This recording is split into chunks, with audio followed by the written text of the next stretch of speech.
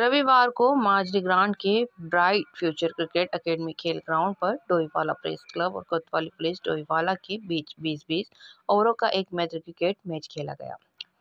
Toss जीतकर Doiwala press club ने कोतवाली पुलिस डोईवाला की क्रिकेट टीम को बल्लेबाजी करने का निमंत्रण दिया और दीपक द्विवेदी व विनोद गोसाई ओपन बल्लेबाज के रूप में मैदान में उतरे। दीपक ने 21 गेंदों में 15 रन और विनोद गोसाई ने 15 गेंदों में 16 रन बनाए।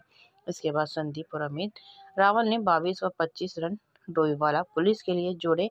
19 ओवरों में 10 विकेट खोकर पुलिस टीम द्वारा कुल 132 रन बनाए गए।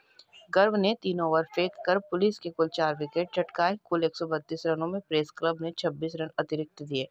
इसके बाद बल्लेबाजी को मैदान पर प्रेस क्लब डोईवाला की टीम उतरी और देव वर्मा व राजेंद्र वर्मा ने ओपनिंग की, लेकिन प्रेस क्लब डोईवाला की शुरुआत बेहद खराब रही और राजेंद्र वर्मा मात्र एक रन बनाकर संदीप की बॉल पर बोल्ड हो गए। देव एक छोर पर डटे रहे और उन्होंने प्रेस क्लब डोईवाला के लिए उनसाठ गेंदों पर उनसत्तर रनों की नाबाद खेल डाली। के बाद और ये चौके के साथ स्कोर में बढ़ोतरी स्कोर जा पहुँचा सोलह रन। और एक बार नहीं रही है बल्लेबाज। ग्राउंड काफ़ी बड़ा। जानते हैं। ज़रूर किया था पर। फ्रंट फुट पे आए।